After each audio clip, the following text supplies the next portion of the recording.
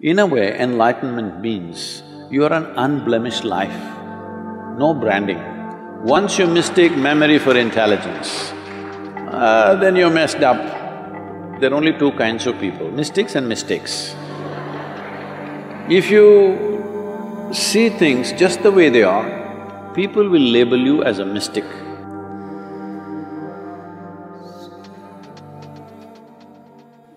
People even believe this, that there'll be some science in the body and they burnt Trishul in their back, on the forehead, see this just appeared. In the West, people show their hands and there are marks here and they say, I have the crucifixion marks, so Jesus has appeared for me. In India, Shankha will appear on the shoulder, you just have to burn yourself. You can brand yourself with Shankha Chakra or with uh, crucifixion marks or whatever nonsense you want. In a way, enlightenment means you are an unblemished life, no branding. So you brand yourself and you think you're enlightened, very sorry. so, if there is no brandings, how do you recognize? You cannot recognize. You cannot recognize. How does anybody here know I'm enlightened or not? I never made a statement on that. So how do they know? They're just assuming. yes? See, you go and sit in front of your kindergarten teacher. Do you know how knowledgeable he or she is? No, but that he or she knows ABC, you do not know, so you sit.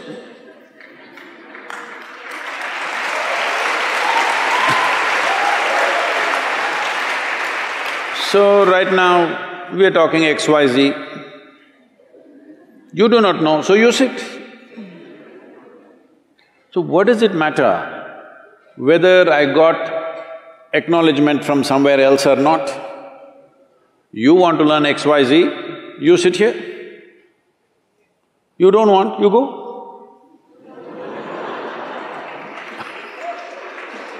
So,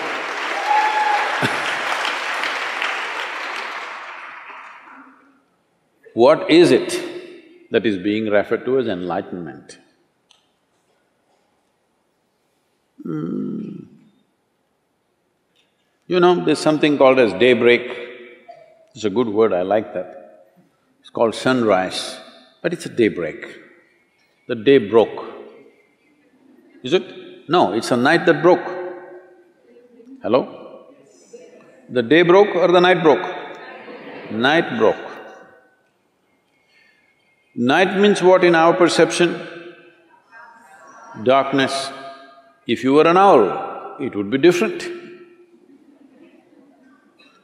In your perception, night means uncomfortable because dark. Your visual apparatus are not comfortable in darkness. That's why we invented all these lights and this and that. Why?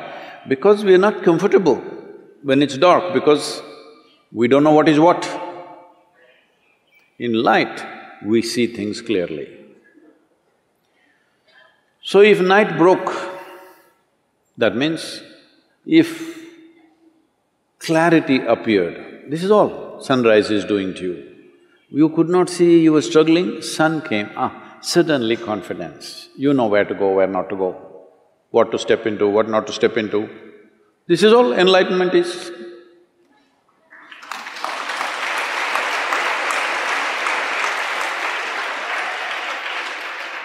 Clarity came, where you see everything clearly. You know, there was a book that we were publishing. Uh, there's a series of talks and something came to give a title. So I looked at the content a little bit and then I said, of mystics and mistakes.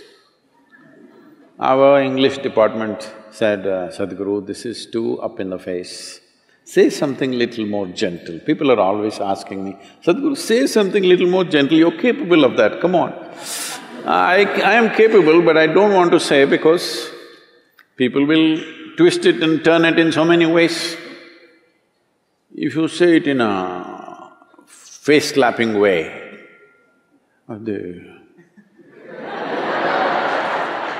they don't meddle with it too much. So, I said of mystics and mistakes. What it means is there are only two kinds of people, mystics and mistakes. If you see things just the way they are, people will label you as a mystic. So what are they? They're a mistake. They're making mistakes about perceiving basic aspects of life, that's all. Yes? Making mistakes about perception. Why they're making mistakes about perception? Their one hand is always dipped in their memory. This is why we say karma. They are mistaking memory for intelligence, that's all the mistake they have done. Once you mistake memory for intelligence, uh, then you're messed up. If you have some memory about something that other people do not know, you look like scholarly. See, people read ten books and they become scholars. People just read one book and they become religious. Just one book. How come it qualifies you to become a representative of God? If you read more than one book, then you cannot be, isn't it? You just have to read only one book. So, this is mistaking memory for intelligence. Our entire education system is just this rubbish, mistaking memory for intelligence. If you mistake memory for intelligence, we call you a karma case. You're a karma case because you live out of your memory, not out of your intelligence. If you live out of your intelligence absolutely, without getting your memory and intelligence mixed up, then people say, oh, he's enlightened.